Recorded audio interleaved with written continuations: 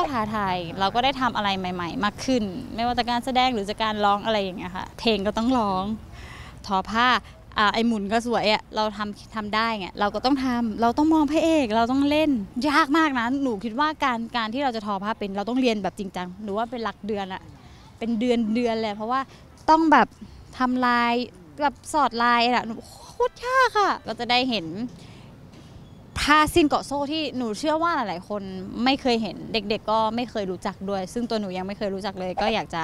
ให้ทุกคนติดตามนะคะ